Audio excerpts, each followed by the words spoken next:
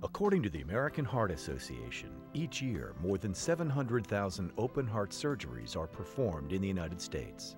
Traditional methods for closing the sternum following surgery include the use of wires or sutures, but that method may pose challenges for patients, including keeping the sternum stable. Improving the outcomes for these patients often depends on the development of highly specialized tools and surgical techniques. One technique that is gaining support from cardiac surgeons is the use of plates and screws to close the sternum following open heart surgery. Doctors from several leading cardiac hospitals, in cooperation with medical device manufacturer Biomet, helped develop the Sternalock system. Sternalock utilizes a system of plates and screws and is designed to aid in the alignment and stabilization of the sternum following open heart surgery. The benefits of using the Sternalock system include increased stability, greater strength, and reduced chance of sternal separation. To learn more, visit sternalock.com.